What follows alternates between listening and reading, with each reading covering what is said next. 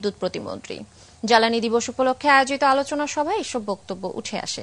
অনুষ্ঠানে সরকারের বিদ্যুৎ ও জ্বালানি খাতের নীতি নির্ধারক ও বিভিন্ন সেক্টরের শীর্ষ কর্মকর্তারা উপস্থিত ছিলেন।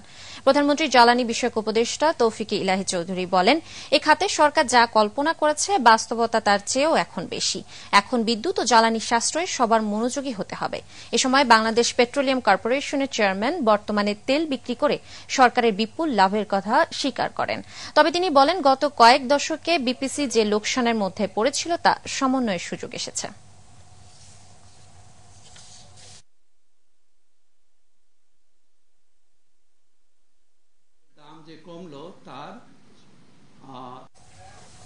এই ছিল নিউজ রাউন্ড সঙ্গে থাকুন দেখতে থাকুন এটিএন নিউজ এটিএন নিউজের ব্রেকিং নিউজ আপনার মোবাইলে পেতে টাইপ করুন S T A R T start space A N এবং পাঠিয়ে দিন ফাইভ নাইন ফাইভ নাইন এই নম্বরে।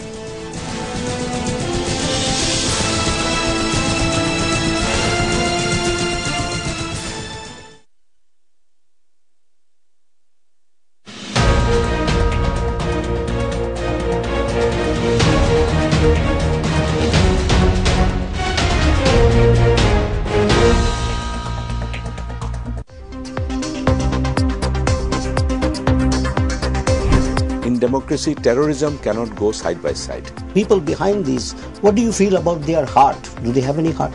They're not people, they're terrorists. read lot more understand take criticism critiquing a party does not mean opposing a party Trafficking is not the category of refugees. What is happening in Myanmar are refugees who are fleeing persecution in their own country. this hubbing, growing economic center in South Asia will be model for many other countries. 50 billion on 50th anniversary of Bangladesh. That is our target. BSRM presents editorial. Watch tonight at 7:30.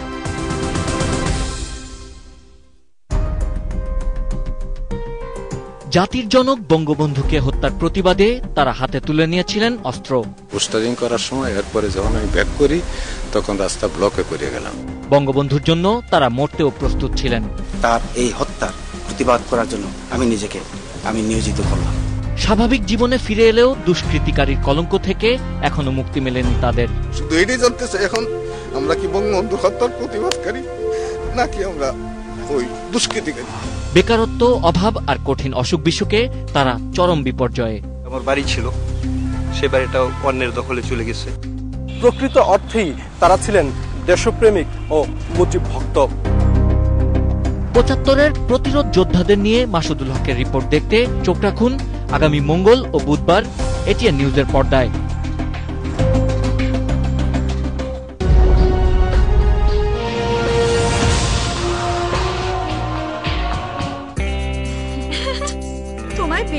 চুলে এই চুল পড়া নিয়ে বেঁধে রাখবি? সমাধান আছে। নতুন Parachute extra care hair oil মেথি আমলকি অ্যালোভেরা ও নারকেল তেলের মিশ্রণে তৈরি। দেয় এক্সট্রা পুষ্টি। চুল পড়া কমায় লক্ষণীয় ভাবে পঁয়তাল্লিশ দিনেই। পারফেক্ট এই চুলে ভাইয়াকে বেঁধে রাখতে পারবি। Parachute extra care hair oil কর্মমুখী শিক্ষা কর্মসংস্থানের প্রধান সহায়ক। ডিপ্লোমা ইন ইঞ্জিনিয়ারিং এ ভর্তি চলছে। Shyamoli ideal polytechnic institute Dhaka Chittagong Rangpur Lakshmipur.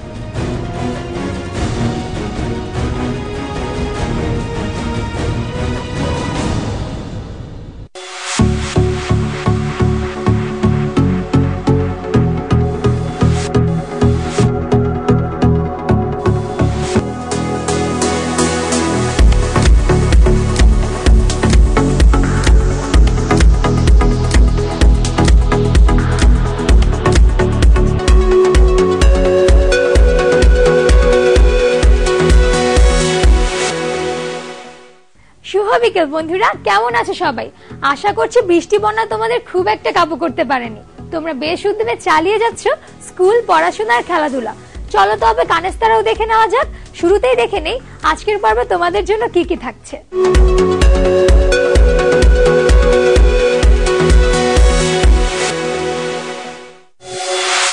Runway বিড়ম্বনা, এতিমখানা, ঘুড়ির গল্প ছিন্নমূল মায়ের ছিন্নমূল সন্তান এবং শিশুকে শাসন। তোমরা কি রানওয়ে দেখেছ? কি সুন্দর, যেন মহাপতঙ্গের ওঠানামা। তবে এই সৌন্দর্য সবার জন্য উপভোগ্য নয়, কারও কারও জন্য বিপত্তিরও কারণ। বিমানবন্দর দূর আকাশে উড়ে চলা পাখির মতো বিমানগুলো ডানা মেলে এখান থেকেই। সাত সমুদ্র তেরো নদী পার করে আবার ফিরে আসে এই রানওয়েতে। বিশাল এই ধাতব যানগুলোকে দেখতে প্রতিদিন অসংখ্য শিশু কিশোর ভিড় জমায় এই এলাকায়। স্থানীয়রা তো বটেই অনেকে আবার আসে দূর দূরান্ত থেকে। এখানে প্লেন দেখতে আসছি। এখানে দেখার জন্য এসেছি আম্মুকে এখানে বিমান উঠানামা করতেছে সব দেখতে কিন্তু ভয় লাগতেছে না। আমি বিমান দেখতে আসছি আমি ঘুরতে আসছি। বাচ্চা নিয়ে ঘুরতে আসছি প্লেন দেখার জন্য। মোটামুটি আবহাওয়া এবং বাতাস আছে এই জন্য ভালো লাগে।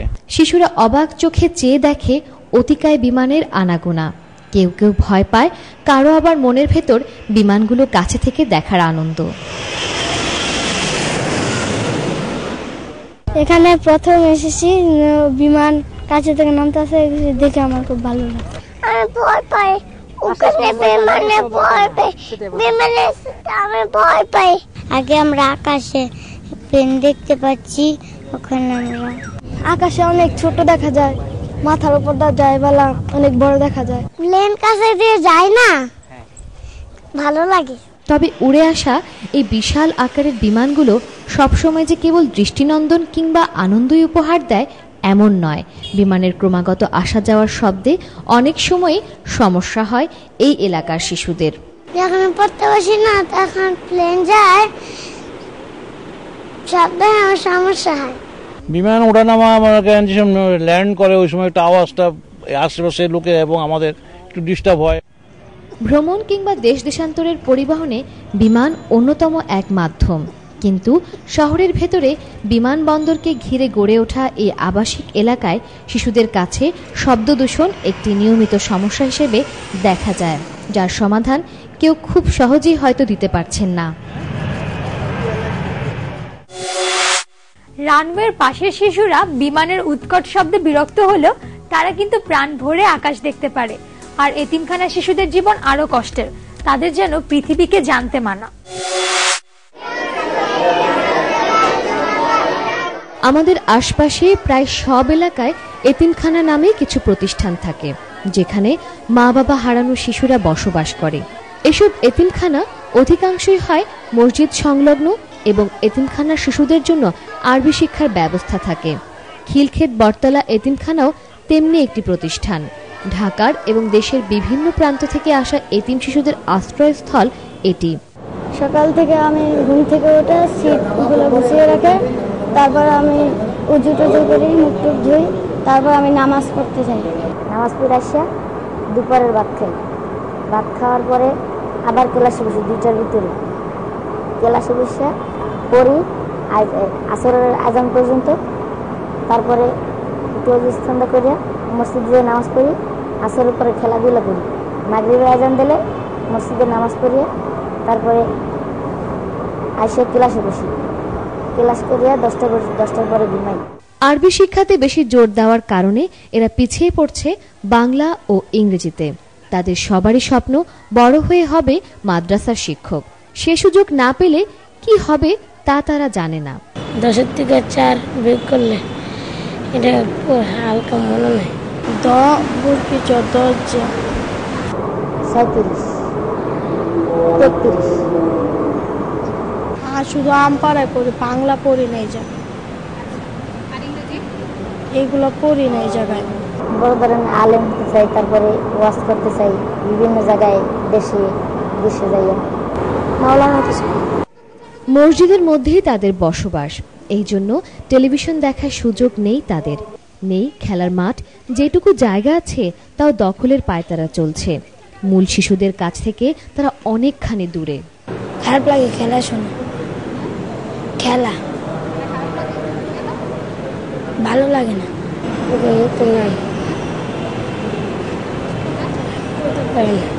এই শিশুদের মূল মাধ্যমে পড়াশোনা কিংবা কারিগরি শিক্ষা দেওয়ার প্রয়োজনীয়তা অনুভব করেন কর্তৃপক্ষ। আমাদের তো ভবন নাই। যদি ভবনটা থাকতো তাহলে তো আমরা এটা করতামই এই যে প্রশিক্ষণ এই যে বিভিন্ন কম্পিউটার সেলাই মেশিন এবং আরও অন্যান্য যে হস্তশিল্প বা যেগুলো আছে এগুলো করার জন্য করতাম এখন তো আমাদের অ্যাকোমোডেশনটা নাই। আমাদের চিন্তা ভাবনা আছে যে এটা একটা ভবন নির্মাণের। ভবনটা হইলে আমরা এই এই চিন্তাটা আমরা ইনশাল্লাহ হাতে নেব এবং ইনশাল্লাহ আমরা করব। মা বাবা নেই বলে এই শিশুদের মূল স্রোতের বাইরে চলে যেতে দেওয়া উচিত নয়। জানার অধিকার তাদেরও আছে। যারা এই শিশুদের বেড়ে উঠতে সাহায্য করছেন তাদের ভালো উদ্যোগ অব্যাহত থাকুক ভালো থাকুক এতিম শিশুরা। ঘুড়ি। আমাদের হয়ে আকাশ ছুঁয়ে দেয়। আমাদের না বলা কথা আকাশকে বলে দেয়। তাই তো মনের হাজার রকম ভাবনা নিয়ে তৈরি হয় হাজার রকম ঘুড়ি।